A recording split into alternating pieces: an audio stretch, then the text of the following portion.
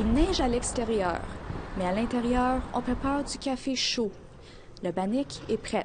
Et même une heure et demie avant l'ouverture, les gens se rassemblent à l'extérieur du nouveau refuge pour sans-abri de Montréal dans l'espoir d'y rentrer.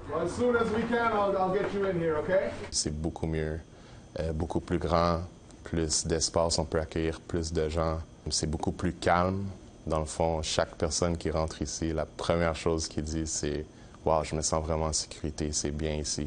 C'est le deuxième espace ouvert en mémoire de Raphaël Naba-André, dont le corps a été retrouvé dans une toilette portative il y a deux ans, près d'un refuge forcé de fermer en vertu d'ordonnances de santé publique. Donc, les communautés autochtones ont mis en commun leurs ressources pour ouvrir cette halte chaleur en son nom. Bien qu'il serve des milliers de clients de leurs besoins, il a dû être fermé en avril dernier lorsque le financement a pris fin. C'est vraiment compliqué, euh, je vais vous dire. C'est, euh, il, y a, toujours soit, mettons, la réglementation, le zonage, euh, parce qu'au départ, on voulait comme être vraiment dans le parc du Square Cabot mais on voyait que ça, devenait impossible.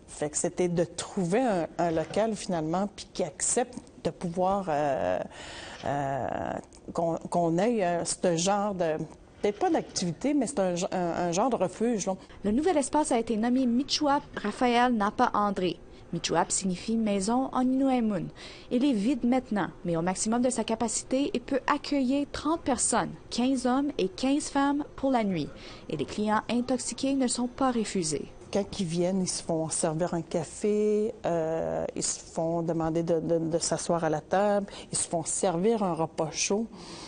Et euh, aussitôt, mettons, quand ils s'en vont dormir, ils se sentent en sécurité.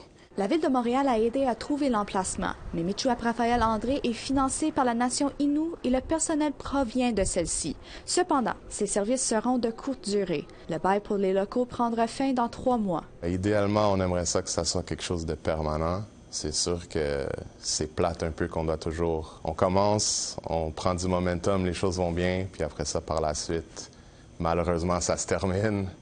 Puis après ça, il faut toujours recommencer, pas à zéro, mais quasiment à zéro. Pendant que les travailleurs attendent une solution durable, la famille de Naba attend toujours de connaître la cause officielle de son décès. Après deux ans et plusieurs demandes de renseignements de la part d'APTN, le Bureau du coroner du Québec a confirmé cette semaine que le rapport de Napa est toujours en cours. Ce retard sera causé par des documents manquants.